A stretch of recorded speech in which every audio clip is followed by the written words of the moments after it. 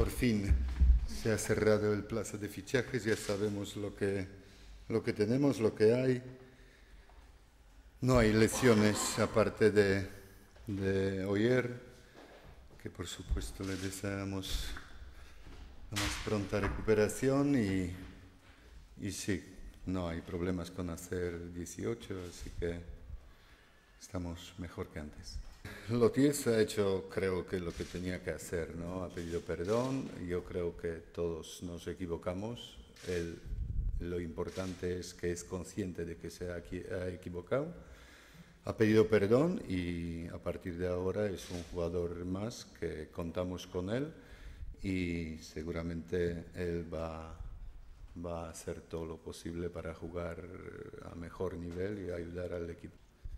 A la primera se puede observar que todos los equipos están poniendo todo el ímpetu y todo lo que tienen para sacar lo mejor en los partidos de casa, que parece que fuera de casa es muy difícil sacar algo positivo y, y eso tenemos que aprovechar. Por eso no sé cómo, cómo va a estar el a la vez porque ha hecho dos partidos, dos partidos diferentes. Sobre el partido y la afición va, va a haber un partido de este tipo donde hay dos aficiones que se llevan muy bien, donde habrá muy buen ambiente.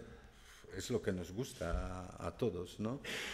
Pero a mí lo que más me gusta ¿no? es el, el, resultado. Después de dos partidos tenemos cuatro puntos y queremos aprovechar ese buen ambiente que seguramente va a haber en el Sadar.